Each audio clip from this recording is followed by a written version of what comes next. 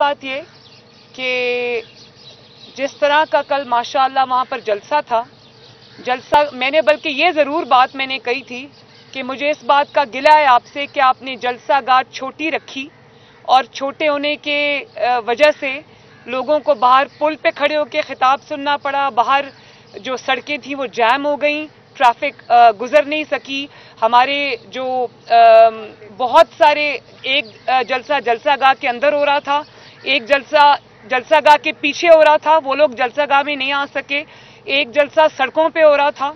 तो मैं शायद खाकान, अब्बासी साहब कोई घंटा तखीर से पहुँचे, क्योंकि इनको रास्ता नहीं मिला सड़क से जलसा गाह में आने का। मुझे उन्होंने आज बताया कि मैं मोटरसाइकिल पे, किसी की मोटरसाइकिल पे बैठ के जलसा गाह में पहुँचा हूँ।